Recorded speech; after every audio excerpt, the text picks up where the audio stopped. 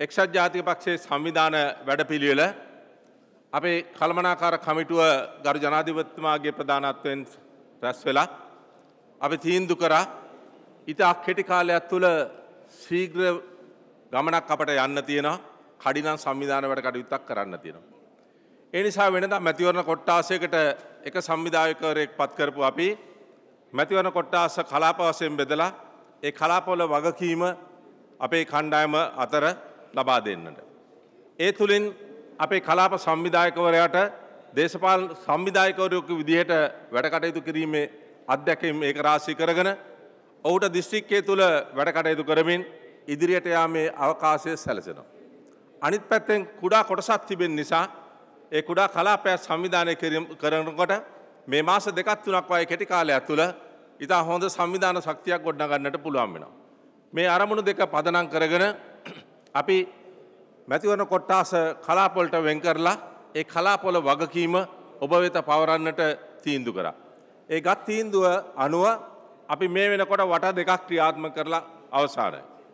අද අපි කොළඹ දිස්ත්‍රික්කයේ තුන්වෙනි වටය වශයෙන් තෝරාගෙන කොළඹ දිස්ත්‍රික්කයේ සංවිධායක මහත් මහත්මින්ට නිල වශයෙන් ගරු ජනාධිපතිතුමාගේ දෑතින් පත්වීන් ලිපිය භාරදීම සඳහා සූදානම් කරලා තියෙන.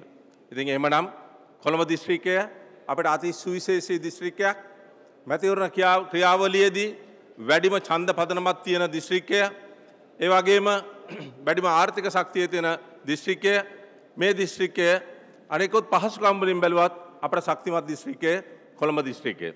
එනම් මේ කොළඹ දිස්ත්‍රික්කය අපි අනෙකුත් දිස්ත්‍රික්කවලට වඩා වැඩි බරක් දාලා වැඩි සංවිධානයක් ගොඩනැගිය යුතු දිස්ත්‍රික්කයක් විදියට දක්නවා. එනම් ඒ සඳහා ඔබ සියලු දෙනාම ඔබේ ශක්තිය යොදයි කියලා අපි විශ්වාස කරනවා. ඒවගේ මිත්‍රවරණි අපි කලාප සංවිධායක වසයෙන් ඔබ කලාපයකට නංකරාට ඒ කලාපයට පමණක් ඔබ සීමා කිරීමට පක්ෂය සූදානන්නෑ.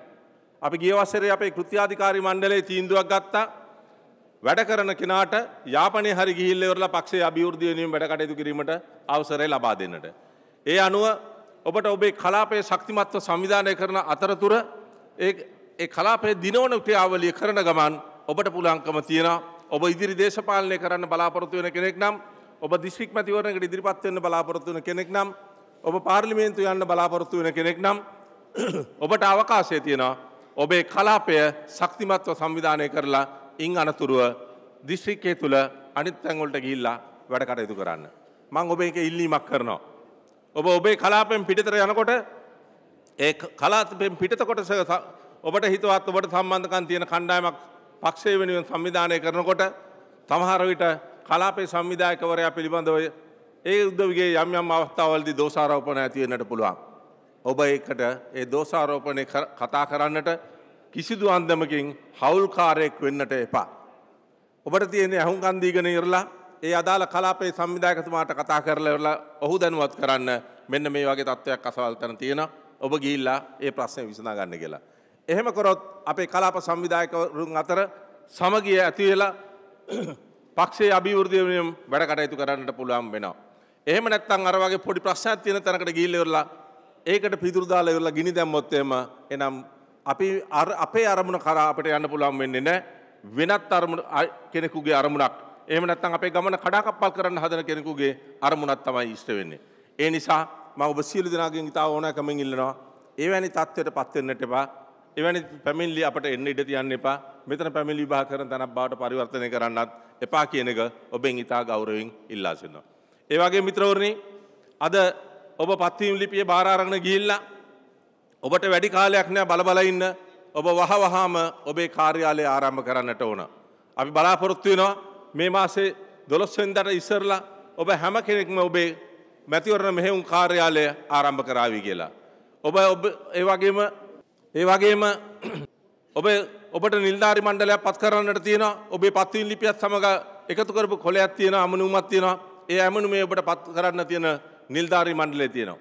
ඒ වගේම ඔබේ ඡන්ද මධ්‍යස්ථානයට අපි කමිටුව සකස් කරන්නට තියෙනවා 25කට නොවැඩ කමිටුවක්.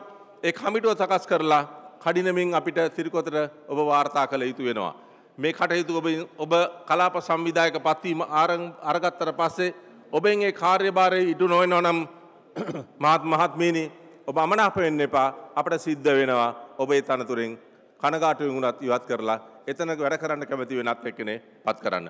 මම ඉතාමත්ම කෙටියෙන් මේ කරුණට කිව්වේ තවත් අපේ කතික මහත්තයෝ දෙදෙනෙක් ඒ වගේම ජනාධිපතිතුමා ඔබ අමතන්නට තියෙනවා.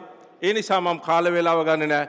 මේ කරුණු ටික ඔලුවට අරගෙන අද මෙතනින් පත්වීම් ලිපි අරගෙන ගිල්ලා පක්ෂයේ අභිවෘද්ධිය වෙනුවෙන් ඔබේ අභිවෘද්ධිය වෙනුවෙන් ශක්තිමත් එජාපයක් ඒ වගේම එන මැතිවරණයෙන් එක්සත් ජාතිපක්ෂ නායක මේ රටේ ජනතාව බේරගත් ගැලවුම්කාරයන වන රනිල් වික්‍රමසිංහ මැතිතුමා නියත වශයෙන්ම ජනාධිපති වෙනවා. ඒ ජනාධිපති වෙන සටනේදී ඔබේ දායකත්වය නොපරිහෙලා ලබා දෙන්න.